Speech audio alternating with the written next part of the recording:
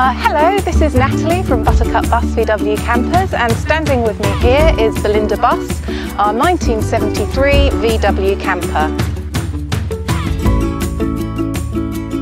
Hello, this is Natalie from Buttercup Bus VW Campers and here behind me we have Buttercup, our 1977 classic VW camper.